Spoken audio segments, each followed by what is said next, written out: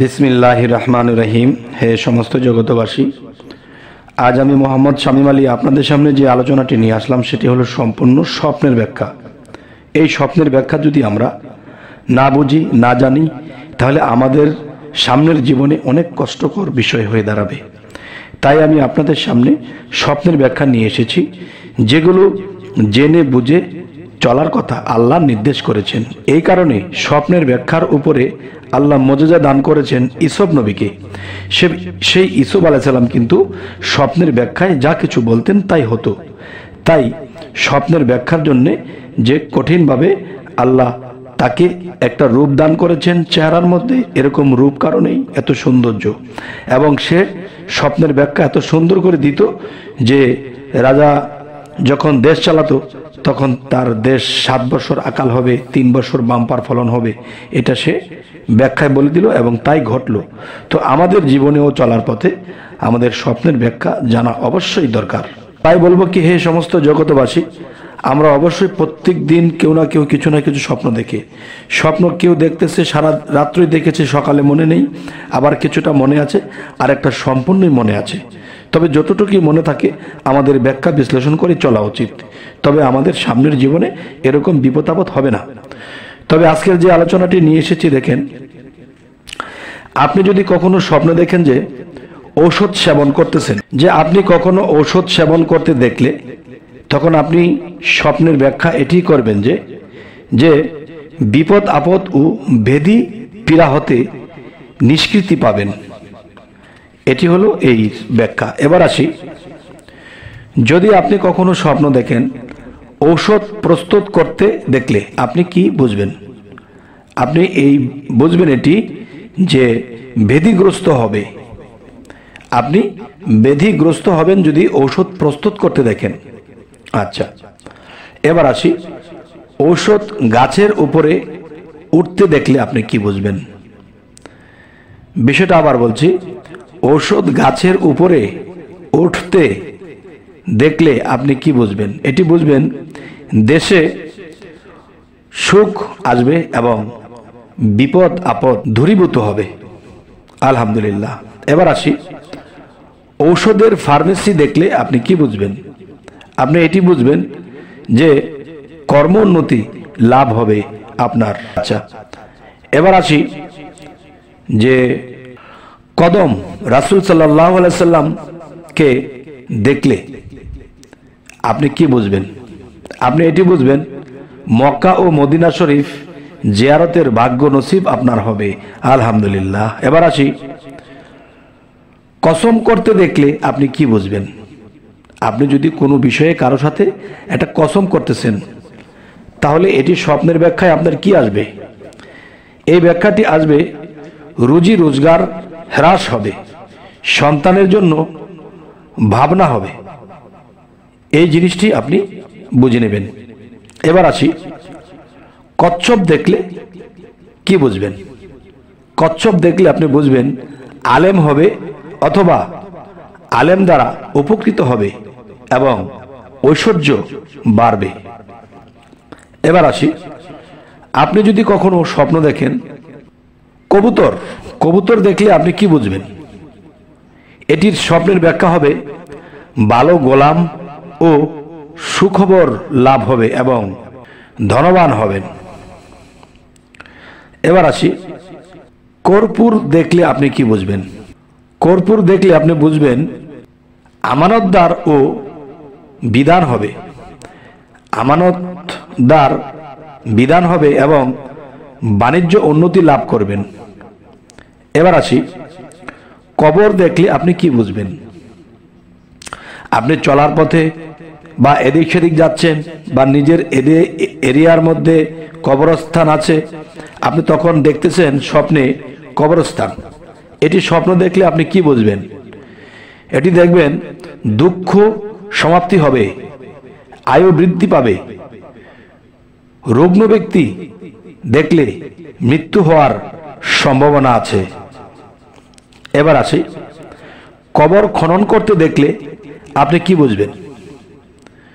কবর খনন করতে দেখলে আপনি এটিই বুঝবেন, নতুন গৃহ নির্মাণ করবে। আচ্ছা এবার আসি। কবরে যেতে দেখলে আপনি কি বুঝবেন?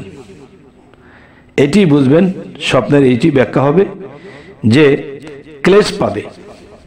এবার আসি। আপনি যদি কখনো স্বপ্ন দেখেন, কবর প্রস্তুত করতে দেখলে স্বপ্নে আপনি কি এর ব্যাখ্যা করবেন?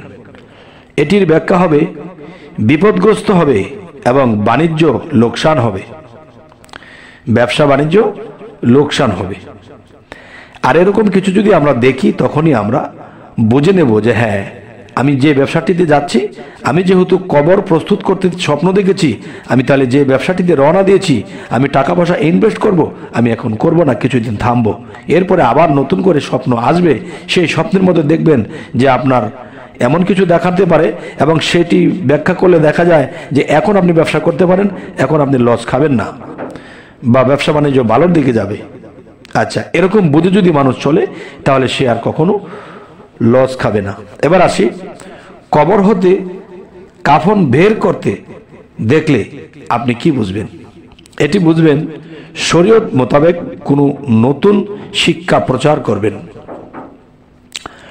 এবার আসি, যদি আপনি কখনো কবরের ছবি দেখলে, আপনি কখনো কবরের ছবি দেখলে স্বপ্নে, এটি আপনি কি বুঝবেন? এটির ব্যাখ্যা হবে ধর্মের প্রতি দুর্বলতার চিহ্ন। এবার আসি, কবর নিজের জন্য করতে দেখলে আপনি এটি কি বুঝবেন? এই স্বপ্নের ব্যাখ্যাটি হবে বিপদের মোকাবেলা করার লক্ষণ। আচ্ছা এবার আসি, যদি কেউ স্বপ্ন দেখে কবরে রেখে উপরে মাটি দিতে দেখলে আপনি কি বুঝবেন?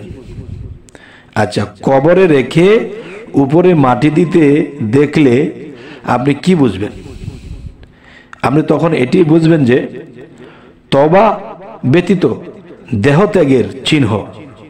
যদি আপনি কখনো আপনার মৃত্যুবরণ হয়, তখন আপনি এটি বুঝে নেবেন যে তখন তবা করার মন মানসিকতা, ওরকম জ্ঞান, বিবেক বুদ্ধি কিছুই কাজ করবে না। আর তখনই এরকম স্বপ্ন দেখলে আপনারা সাথে সাথে আল্লাহর কাছে কান্নাকাটি করে অবশ্যই আল্লাহকে দরখাস্তের মাধ্যমে এটি ঠিক করে নিতে হবে। এবার আসি, কবরের মধ্যে নিজেকে দেখলে কি বুঝবেন? এই স্বপ্নের ব্যাখ্যা হবে, বন্দি হওয়ার আলামত। আপনি কখনো কোনো জায়গায়, জেলখানা বা যে কোনো একটা বিষয়ে জায়গায় আপনি বন্দি হতে পারেন। এবার আসি যে কবরস্থানে গমন করতে দেখলে আপনি কি বুঝবেন? কবরস্থানে গমন করতে দেখলে আপনি এই স্বপ্নের এই ব্যাখ্যাটি, এটি হবে যে বুজুর্গ ব্যক্তির দর্শন লাভ করবেন।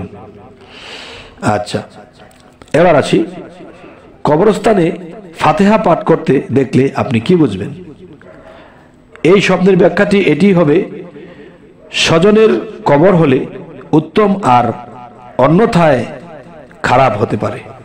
এবার আসি। কবর, সিমেন্ট করা দেখলে আপনি কি বুঝবেন? সিমেন্ট দিয়ে পাকাপোক্ত করতে দেখলে স্বপ্নে এটি আপনি কি বুঝবেন? এটি আপনি এটি বুঝবেন, নিজের বাড়িঘর পাকা হওয়ার লক্ষণ।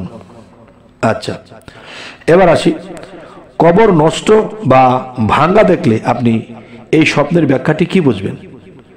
এই স্বপ্নের ব্যাখ্যাটি এটি যে মুসিবত আগমনের আশঙ্কা অথবা অসহায় হবেন আপনি। আচ্ছা। এবার আসি। কবরস্থান জিয়ারত করা দেখলে আপনি কি বুঝবেন? আপনি এটি বুঝবেন, অনুতাপ করবে। মহাজনের স্বল্প সাহায্যপ্রাপ্ত হবে। মহাজন আপনাকে স্বল্প সাহায্য সহযোগিতা করবে। যদি আপনি কবরস্থান জিয়ারত করা দেখেন। তবে হে সমস্ত জগতবাসী আল্লাহর নির্দেশ যে আমাদের স্বপ্ন যেন আমরা খেয়াল রাখি এবং এটা ব্যাখ্যা করে চলার চেষ্টা করি ইনশাল্লাহ আল্লাহর রহমতে আমরা কখনো বিপথে যাব না, আমরা কখনো বিনষ্ট হব না, আমরা মৃত্যুর আগে এবং মৃত্যুর পরে আমরা সফল কাম হতে পারব। কেননা আমরা অনুমানে হনুমান মারি, রাতের অন্ধকারে অনুমানে হনুমান মেরেছি সকালে উঠে দেখি মানুষ মরে আছে। তখন তো জেল খাটার আর শেষ থাকবে না, এমনকি ফাঁসি হতে পারে। তাই বলব যে অনুমানে কেন চলবো? আল্লাহ তো আমাদেরকে স্বপ্ন স্পষ্টই দেখাচ্ছে। আচ্ছা তাহলে এটা বুঝে যদি আমরা চলি, আমরা ইহকাল পরকাল কখনোই আমরা ধরা খাব না। যেমন মনে করেন, একটি স্বপ্ন আপনি দেখেছেন, কালকে এমুক জায়গাতে যাবেন। সেখানে আপনি পঞ্চাশ হাজার টাকা ইনভেস্ট করবেন বা পঞ্চাশ হাজার টাকা জমা দেবেন। এখন যাওয়ার পথে আপনাকে সন্ত্রাসে আপনার হাত পা কেটে টাকাগুলো নিয়ে যাবে। এটা আপনি কি করে বুঝবেন? এটা এমনি বুঝবেন যে কোনো মানুষ বা কেউ, কাউকে কেউ ধরেছে, কাউকে কেউ ধরে তাকে হাত পা বেঁধে বা কেটে মেরে তার থেকে কিছু চিন্তাই করে নিয়ে গেছে। এরকম যদি কিছু দেখেন, তাহলে বুঝবেন যে ঘটনাটি সেই ব্যক্তির, কিন্তু আমি কেন দেখলাম? তো ব্যাপারটি আপনার, তার নয়।